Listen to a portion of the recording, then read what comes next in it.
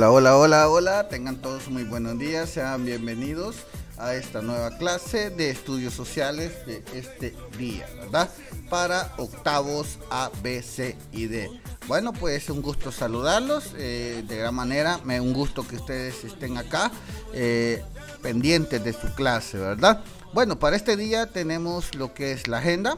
Tenemos el saludo, aquí a este lado, eh, la reflexión, los comentarios, el desarrollo y un cierre, ¿verdad?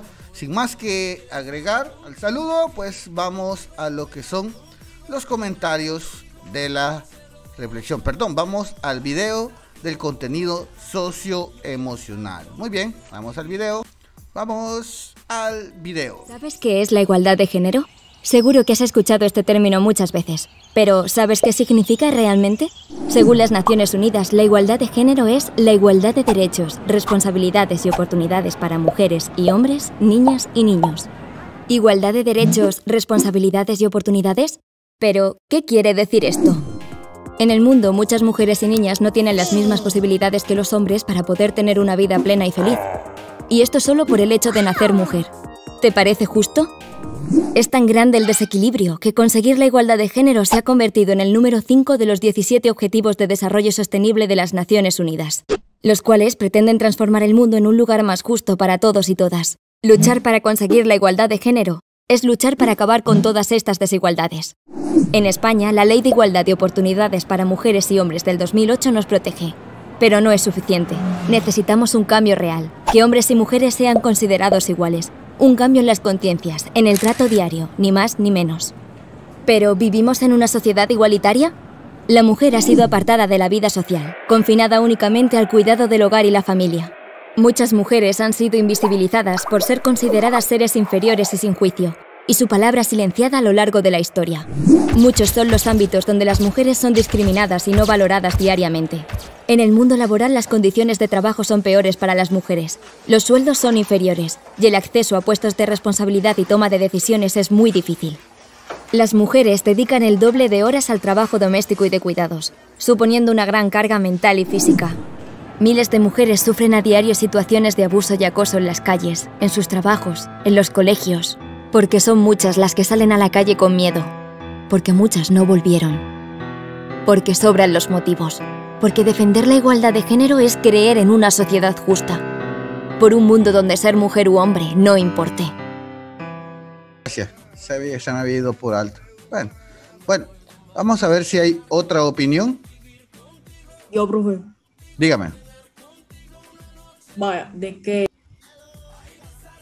de que siempre se le de que en la historia este casi siempre se le han violentado los derechos a las mujeres y no tenían que muchas oportunidades en el ámbito laboral, sino que solamente se dedicaban al cuidado de la familia.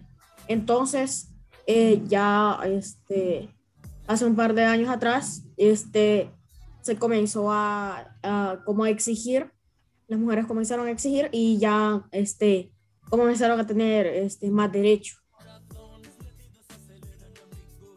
Hola, muy bien, excelente, ¿verdad? Pues déjenme contarle que gracias a los que participaron, ¿verdad? A los que están pendientes ahí, eh, a menos que haya otra participación, me levantan la mano y yo con gusto, ¿verdad? Pero déjenme contarle, vamos, Chelsea, dígame.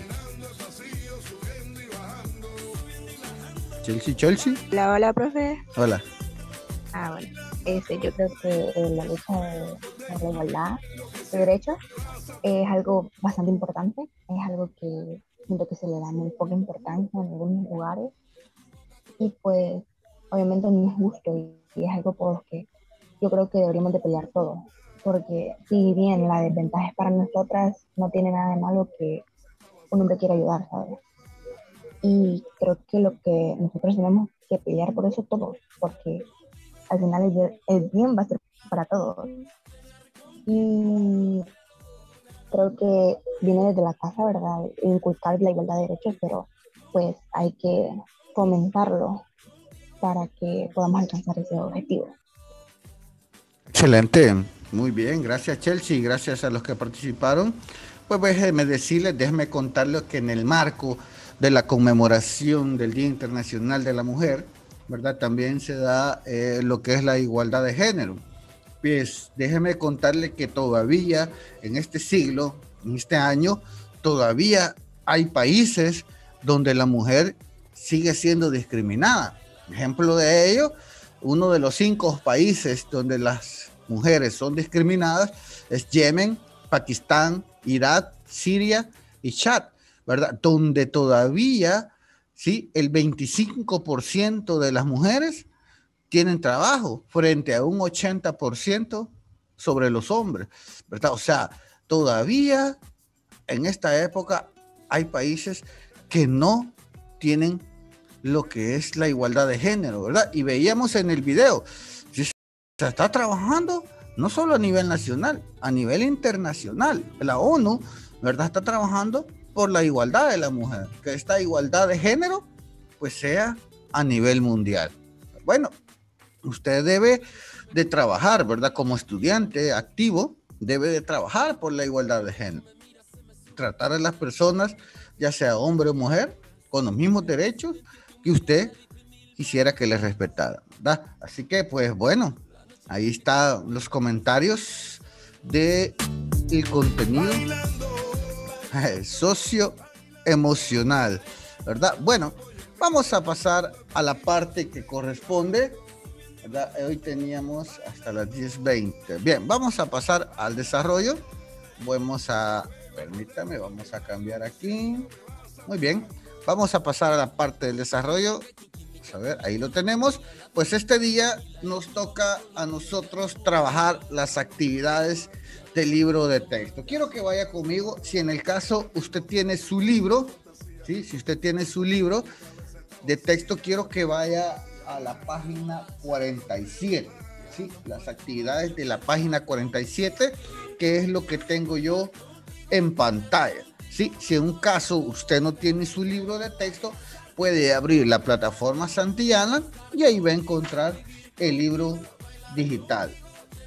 En otro caso, si usted también no tiene acceso a la plataforma ni al libro, pues en la guía, en la guía de clases que nosotros le subimos, que también está en la plataforma Santillana y en el enlace que le compartió su tutor, entonces ahí también están las páginas, los capturas de las páginas para que usted se pueda ir guiando. En un caso, las actividades usted las puede desarrollar en su cuaderno de clase.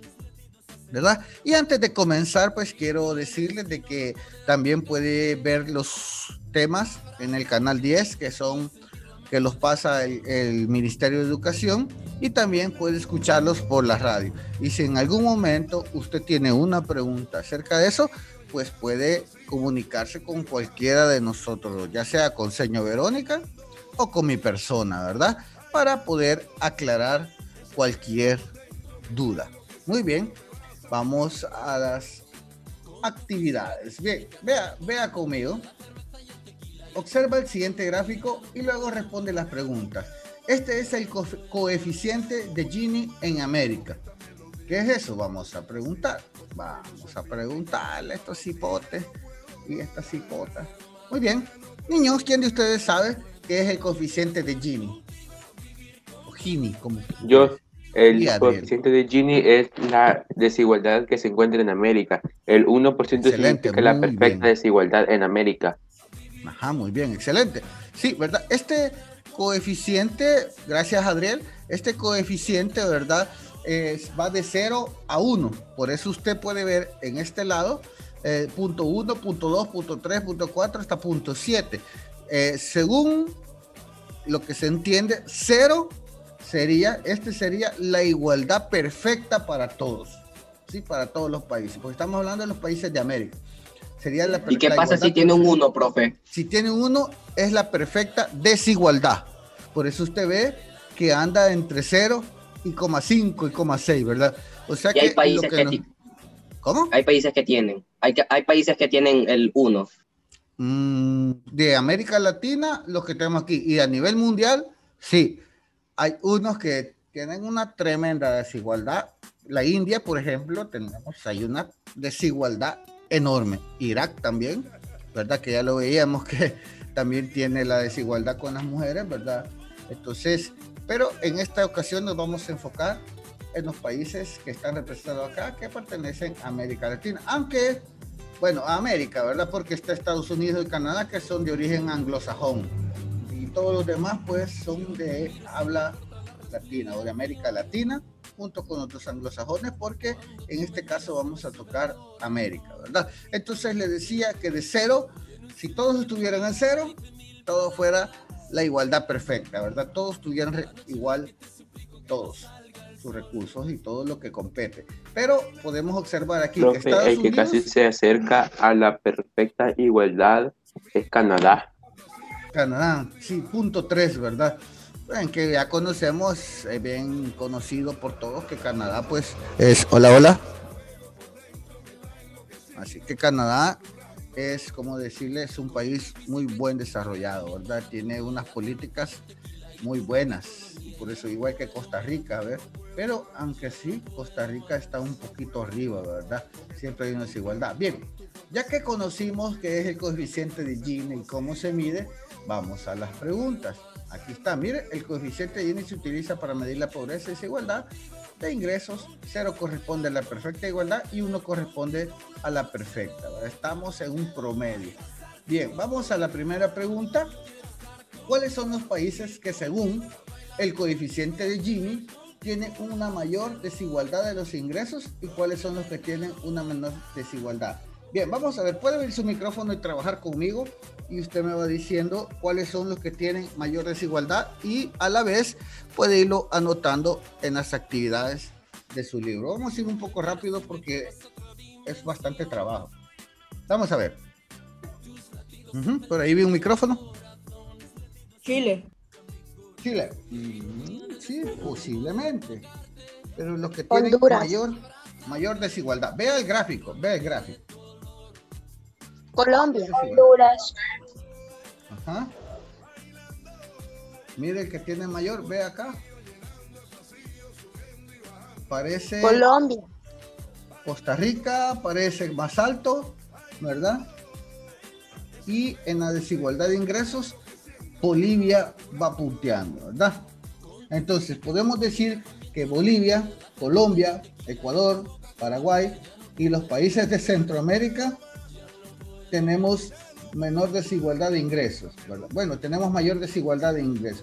En cambio, los países con menor desigualdad, Argentina, Estados Unidos y Canadá. Espero lo haya notado, ¿verdad? Voy a repetir, déjenme decir, ¿verdad? Los con mayor desigualdad de los ingresos, ¿verdad? Bolivia. Esto quiere decir que unos menos ingresos, ¿verdad? Eh, vamos a poner ingresos económicos. Esto quiere decir que hay personas que ganan mucho más y otras que ganan poquito, ¿verdad? Casi nada. Entonces, entre ellos está Bolivia, de ahí el gráfico, Bolivia, ¿sí? Eh, Colombia, está aquí, a la par, Colombia, Paraguay, acá, mira, Paraguay,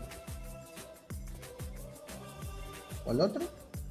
Y los países de Centroamérica, ¿verdad? Nicaragua, El Salvador, Honduras, que ya de por sí ya, ya, los contamos, ¿verdad? Y los países con menor desigualdad de ingresos es Argentina, Estados Unidos y Canadá, por sus políticas, ¿verdad? Bueno, espero que lo hayan notado. Vamos a la siguiente. ¿Qué relación puedes identificar entre el grado de industrialización y el coeficiente para los países del continente americano. Vamos a ver, puede abrir su micrófono y dar su opinión. Mm, casi el, Vamos a arreglar. sí, sí, diga, diga. que el coeficiente de Gini es para medir, medir la desigualdad y la industrialización es para saber cuánto, cómo va ese país en desarrollado. Ah, muy bien, excelente. Va, pero, pero veamos, veamos, enfoquémonos, ¿sí? Le está preguntando qué relación usted identifica. Ya dijo ahí el compañero alguna, ¿verdad? Entre el grado de industria que tiene ese país y el coeficiente. Por ejemplo, los países que tienen un mayor grado de industrialización también tienen un nivel de ingresos igualitario. Si usted podemos ver, entre los países, en la pregunta que acabamos de responder, la anterior, mencionábamos que los de menor desigualdad está Estados Unidos. ¿Pero por qué? ¿Por qué está Estados Unidos? ¿Por qué tiene menor desigualdad? Vamos a ver. Porque es un país industrializado. Exacto, porque tiene un país, es un país industrializado, en el cual pues los recursos económicos se generan a través de la industria y llegan a la mayoría de personas. Por eso también, de ahí nace el sueño americano, ¿verdad? No, dice las personas, yo me quiero a Estados Unidos porque allá se gana bien, porque la economía es bastante estable, ¿verdad? Y, eso hace la relación entre la industrialización y el índice de igualdad, ¿sí? Entonces, ¿qué es lo que sucede? Esto les permite generar mayores recursos económicos y fuentes de trabajo, mejor pagos a las personas, inversiones en aspectos sociales, por ejemplo, salud y educación, que se traduce en una mejor calidad de vida. Anótele, anótele bien, anótele bien ahí, ¿verdad? Bien, Vamos a la siguiente. Vamos, déjenme mover acá. Si se observa. Profe, ¿puede repetir? Sí, sí, sí. Eh, decía. Profe, ¿puede repetirlo? Sí, excelente. Sí, ahorita, sí. Ven, a la relación. En la pregunta, ¿qué la relación puede significar entre un grado de industrialización y el coeficiente de Gini? Estábamos diciendo de que entre los países que tienen eh, menor desigualdad de ingresos se encuentra Estados Unidos. ¿sí? ¿Pero por qué? Porque es un país industrializado y esta industrialización le permite generar mayores recursos económicos, ¿sí? O sea, dinero. Pero también, pero también este, permite generar empleos, ¿sí? Fuentes de empleo y que sean bien pagados. Inversiones en aspectos sociales, ¿sí? Como salud y educación, y también, espérame, vamos a darle entrada aquí. Y también lo que esto, todo esto se traduce en una mejor calidad de vida. ¿sí? Por eso es que la industria, los países industrializados tienen menor desigualdad, ¿verdad? Porque pues eso se traduce en trabajo y en economía para las personas. No sé si, si, si le ayudé. Vamos a mover esto acá. Ay, mucho. Bien, ahí está. Creo que lo alcanzamos a ver. Uy, todavía no. déjeme bajar otro poquito al zoom. Pues sí, ahí ya vemos. La número 2. ¿sí? Escribe una lista de elementos que ayudan al círculo virtuoso de equidad y desarrollado en los países de Latinoamérica. Vamos a ver cuáles son esos elementos. Lo vimos anterior, hacen las dos preguntas, los acabamos de ver, preguntas anteriores. ¿Sí? Vamos a ver cuáles son. Escribe una lista de elementos que ayudan al círculo virtuoso de equidad. O sea, que todos tengan los mismos ingresos. ¿sí? Y desarrollo en los países de Latinoamérica. ¿Cuáles serían? una economía estable. Sí, está bien. ¿Qué más? ¿Alguien más? Gracias. Educación. Diga, diga. Educación. Excelente, muy bien. Mire, me leyó el pensamiento. Dice que yo siempre, a lo largo de que hemos venido trabajando con ustedes en clase, yo siempre les he contado de que esto es una cadenita. Bueno, la economía, la desigualdad, y, se ha comprobado, ¿verdad? Eh, con estudios de que las personas que tienen un menor ingreso académico un menor estudio, podemos decirlo así, tienen un menor ingreso económico. Y las personas con un grado académico mucho mayor tienen ingresos mucho mayores. ¿sí? Entonces, desde ese punto, podemos decir que un elemento que ayuda a mantener el círculo virtuoso de la equidad es la educación, como decía la compañera. ¿sí? El otro círculo que ayuda al círculo, otro elemento, puede ser la igualdad de oportunidades. ¿sí? Y uno último puede ser las tasas moderadas de la expansión demográfica. O sea, que, hagan planes en los cuales eh, tengan leyes, en los cuales definan lo que es la expansión demográfica, ¿verdad? Porque entre mayor población, menos oportunidades y se acelera la desigualdad para todos. Porque imagínense, si hay un empleo, hay una empresa que se funda y tiene 500 empleos, pero los habitantes de la zona son 20 mil. Con 500 empleos, ¿verdad? Desigualdad para todos. Bien, espero lo haya notado. Vamos a la siguiente. Aquí yo le puedo decir, investiga cuáles son los recursos naturales con los que cuenta El Salvador y escribe de qué manera se ven afectados y quiénes los explotan y quiénes se benefician. Bien, dentro de esta pregunta, aquí en nuestro país, El Salvador, que ya sabe usted que cuenta con montañas, ríos, lagos, costas, suelos ricos en cultivo de café, en algodón, caña de azúcar, ¿sí? Y se encuentran eh, maderas como el cedro y el roble. Esos son los recursos de nuestro país. ¿sí? Estos recursos son explotados por las personas para la subsistencia diaria. Gente que va a traer leña, gente que va a la montaña a cazar, va, a pescar en los lagos, las costas, turismo. Ya lo hemos estudiado en temas anteriores. Que se vea el 3 ahí. Bien, entonces, eh, obteniendo de estos alimentos, muebles y etcétera. No sé si lo anotó. Podríamos decir, te lo repito, podríamos decir que nuestro país cuenta con montañas, ríos, lagos, costas, suelos, y todos estos son ricos en cultivos, ¿verdad? Los suelos, en cultivo de café, algodón, caña de azúcar, y pues las personas explotan estos recursos para la subsistencia diaria y obtener alimentos, ¿verdad? Muebles y algunos incluso hasta empleos, ¿verdad?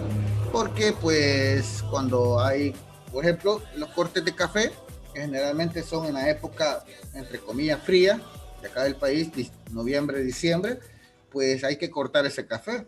Por lo tanto, hay personas que ganan dinero al trabajar cortando el café. Bien.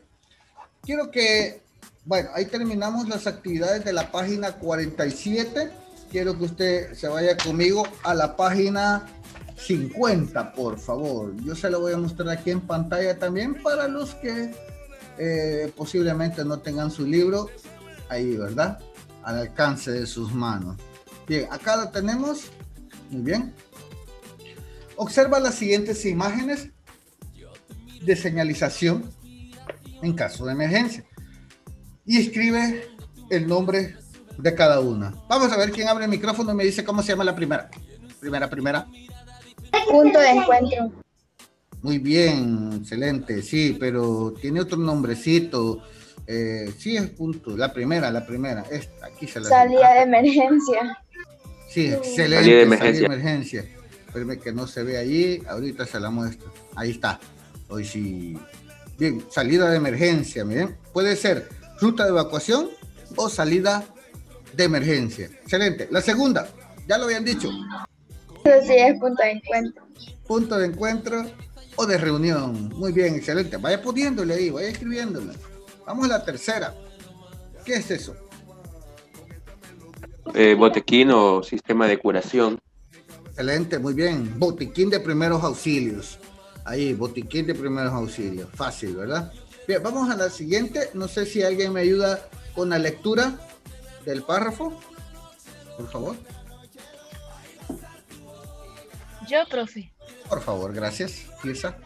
Los pupitres se mueven de un lado a otro. La pizarra se separa de la pared y la golpea constantemente. Los vidrios de las ventanas vibran y los dos de la esquina ya se quebraron. Tus compañeros comienzan a gritar. Está temblando. Muy bien, gracias.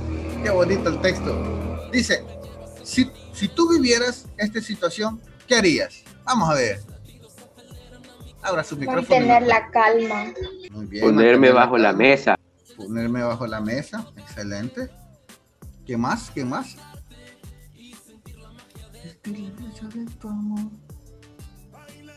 Salir del edificio. Salir del Desconectar la electricidad si la tenemos al alcance, ¿verdad? Desconectar la electricidad, porque en un caso estuviéramos en clases presenciales, pues no tenemos a, la mano esos, esos cosas, ¿verdad? Donde quita la electricidad. Bien, pero fíjense que si lo normal, ¿verdad? Sería, como decía la compañera, guardar la calma, La primero que teníamos que hacer, guardar la calma, prestar, prestar atención a las indicaciones de los encargados. Siempre, siempre que usted está en el colegio, ¿verdad? En las clases o en receso, siempre hay docentes cerca de usted. Siempre estamos cuidando zonas. Entonces, todos nosotros estamos capacitados para eh, eh, compartirles las indicaciones en una cuestión de esto, ¿verdad? Bien, otro punto también sería abandonar los sitios que representan peligro, como decía el texto, ahí estaba contando de que los vidrios ya se habían quebrado, súper peligro. Por eso en las aulas del colegio, usted ha visto que nosotros los pupitres los ponemos separados de las ventanas, ¿verdad? Para prevenir cualquier cosa. Bien, decía abandonar los sitios que representan peligro, también alejarse de las ventanas, postes y muros, no hacer que le caigan encima. Y la última podría ser también ubicar las salidas de emergencia. Bien, en este caso, los grados donde usted estaba tenían puerta de emergencia, ¿verdad? Tenían salidas. Nosotros abríamos y ya sabíamos. Bien, pregunto, ¿a dónde te dirigirías? Vamos a ver. ¿A, dónde se segura. A la, bien, a la zona segura o a los puntos de encuentro. Otra pregunta, ¿te protegerías de alguna manera? ¿Cómo lo hacemos? Eh, hay que proteger nuestra cabeza con algún objeto como un libro o ponerlo debajo de una mesa. Excelente, muy bien. Siempre que salimos nosotros, en bueno, no se llaman simulacros, se llaman ejercicios de evacuación. Cuando hacemos un ejercicio de evacuación, ¿qué es lo que le primero le decimos? el libro o el cuaderno sobre la cabeza, ¿verdad?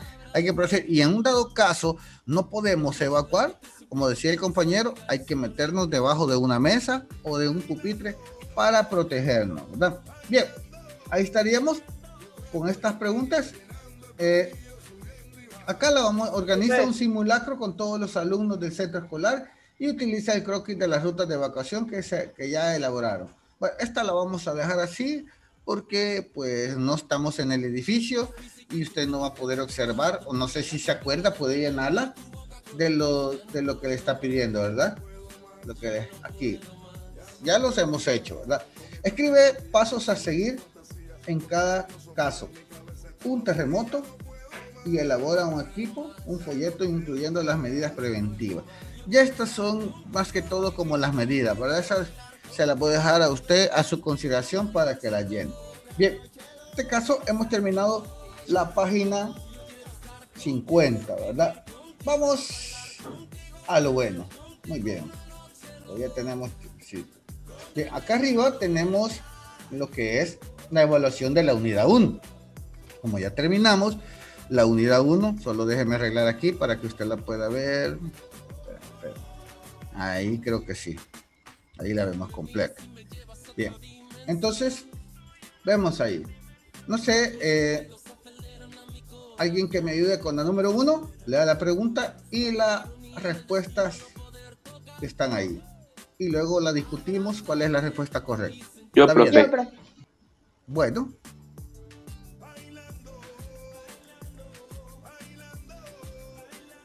Hubieron dos, no sé quién, quién está listo ahorita. Bailando. Vamos a ver. Observa la imagen y selecciona el recorrido de las cadenas montañosas del oeste del continente. Alaska A. Alaska hasta Tierra del Fuego, paralelas a la costa del Pacífico de forma continua. B. Los montes Apalaches hasta las grandes llanuras en América del Norte. C. La Sierra Madre Oriental hasta el macizo de Guayana. Y D. El macizo de la Guayana hasta la llanura del Amazonas. Excelente, muy bien. ¿Cuál es la respuesta correcta? La Excelente, Adriel. La ¿verdad? Entonces nos dice que la imagen selecciona el recorrido que se vende las cadenas montañosas del oeste del continente. Entonces, las cadenas montañosas van desde Alaska hasta la Tierra de Fuego, paralelas a la costa del Pacífico de forma continua. Márquela ahí, márquela. Aquí tiene el cuadrito por irla marcando, ¿verdad? Diciendo. Bien, vamos a la número 2. Muy bien. ¿Quién me ayuda? Hoy sí, yo, profe. Va, va. luego vamos a la tercera, y ahí me ayuda. Vamos, Ariel. ¿Cuál es la diferencia entre tiempo y clima? A. Tiempo se refiere a los valores promedio de una región o zona que se han recogido a lo largo del tiempo y clima se refiere a las condiciones a las condiciones reinantes de un momento determinado. B. Tiempo es el concepto que se utiliza para caracterizar las condiciones atmosféricas de una zona. Y clima se utiliza para designar la temperatura, la humedad y la precisión en una zona o lugar específico. C. Tiempo. El tiempo hace referencia a las condiciones climáticas que han predominado durante un largo periodo en una zona específica. Y clima es un concepto que se utiliza para pronosticar las condiciones atmosféricas diariamente. D. Tiempo se refiere a las condiciones reinantes en un momento determinado y clima se refiere a los valores promedio de una región o zona que se han recogido a lo largo de un periodo. Ok, vamos a ver cuál es la respuesta correcta. Analícelo. A, B, C o D.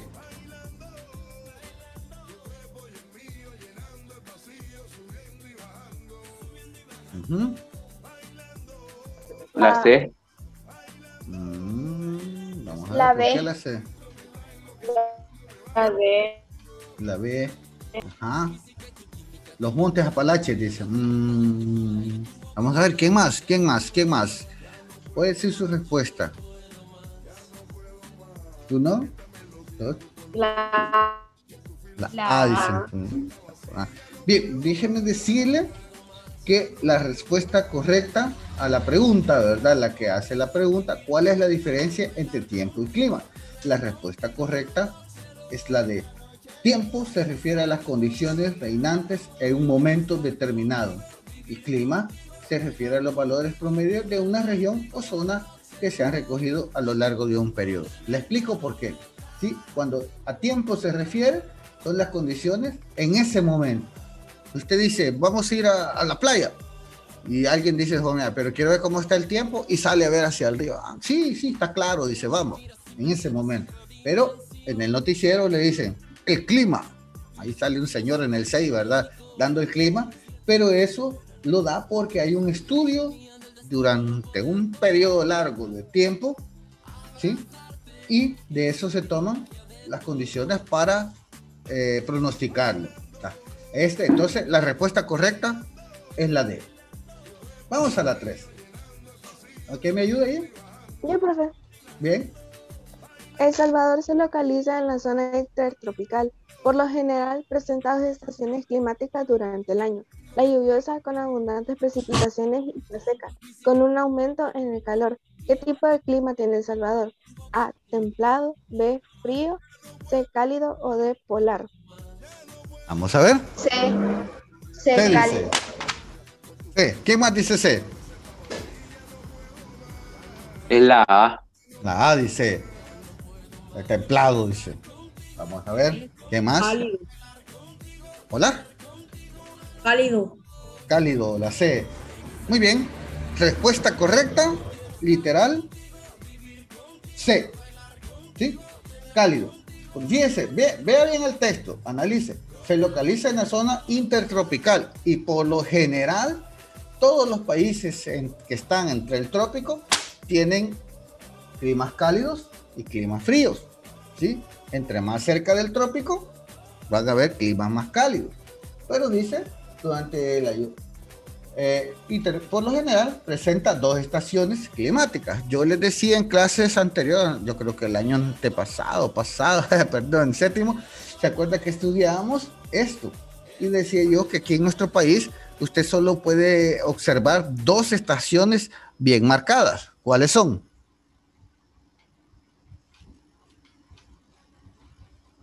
El verano y el invierno.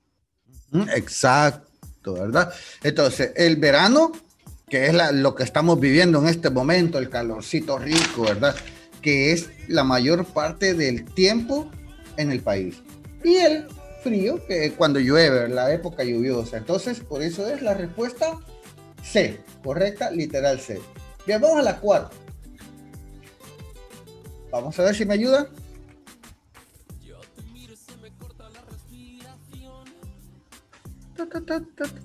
Vamos a ver, ¿alguien que me ayude? Pueden ser los mismos si gustan. Yo. Bien, Adrián. ¿Cuál es la cuatro, profe, dijo? ¿A cuál término corresponde la siguiente definición? Está formada por aguas continentales, ríos, lagos, aguas subterráneas y glaciares, y las aguas marinas, océanos y mares. Constituyen la mayor capa del planeta. A. Hidrografía. B. Hidrosfera. B. C. Biosfera. Y la D. Escorrontinia. Muy bien. Sí, Margarita. La B. La B. La B dice Chelsea. La B. La B dice Es Margarita. la A. Muy bien. Vamos a ver. La B. La B dice. La B. Pues déjame contarle que todos los que dijeron B están en lo correcto, ¿verdad? La respuesta correcta es hidrósfera, literal B, porque está formada por aguas continentales, ríos, lagos, aguas subterráneas, glaciales y las aguas marinas y constituyen la mayor capa del planeta, ¿verdad? Desde el momento en que comienza a decir eh, agua, se que significa hidro, que es agua. Por eso, hidrósfera, ¿verdad? No es hidrografía, no es biosfera, es hidrósfera. Muy bien, respuesta correcta B. Vamos a la 5. ¿Alguien que me ayude en la lectura? Yo, La profe. profe. Muy bien. ¿Quién más iba a leer? Mm, Lee, yo voy, la siguiente. Vale. Ok. ¿Qué son los sismos? Son movimientos de la corteza, literal A. Son movimientos de la corteza terrestre ocasionados por el desplazamiento de placas tectónicas y algunas veces por erupciones volcánicas. Literal B. Son movimientos de las placas tectónicas y que algunas veces provocan tsunamis. Literal C. Son los movimientos de la corteza terrestre que únicamente ocurren en las fallas geológicas. Literal D. Son los movimientos que las placas tectónicas provocados por la ruptura de la Tierra. Muy bien, muy bien. Ahí estamos, ¿verdad? ¿Cuál es la respuesta correcta? Esa está fácil. La A. La A. Vamos a ver quién más dice la A. Vamos a ver. ¿Quién está de acuerdo con, con la compañera que dice que es la? Yo, Ah, muy La- bien, Margarita. Vamos a ver. Respuesta correcta, literal A. ¿Por qué? Porque se originan por los desplazamientos en las placas tectónicas, ¿verdad? Cuando se mueven, hay tipos de movimiento, de inverso, de subducción. Entonces, uy, este camión viene y se acomodan. Y eso nosotros lo percibimos como terremoto o temblor. Bien, vamos a pasar la página. Vamos a la siguiente, muy bien. Vamos a la número 6. Creo que se alcanza a ver, espérenme, si no lo vamos a mover. Ahí, ahí está. Muy bien. Lectura, por favor. Yo. Muy bien. 6. ¿Cuál es la diferencia entre un huracán y un, un ciclón y un tifón? A. El tiempo que dura este fenómeno natural. B. Los daños y destrucciones que causa. C. La zona o región en donde se forman. D. El nivel de lluvias y la velocidad del viento que alcanza este fenómeno natural. Bien, vamos a ver cuál es la respuesta correcta. Ah, Fácil, fácil, fácil. Eso está ahí en el libro, lo dijimos en clases, le- yo se lo recalqué. Vamos a ver, ¿cuál es la respuesta correcta? La C. La C. Vamos a ver quién más dice la C.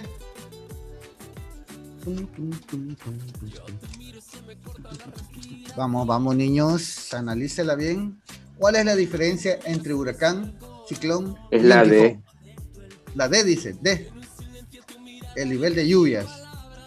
A ver. Pues déjeme decirle que la respuesta correcta es la letra C. La zona o región en donde se forman. Dependiendo de la zona o región, en algunas partes le llaman eh, ciclón, en otras le llaman tifón y nosotros le llamamos huracán. Bien, vamos a las 7. A la 7, lectura. Muy bien, Daniela. ¿Qué acción permite cuidar los recursos naturales? Literal A, la sobreexplotación. B, la explotación de bosques. C, la reutilización de un objeto.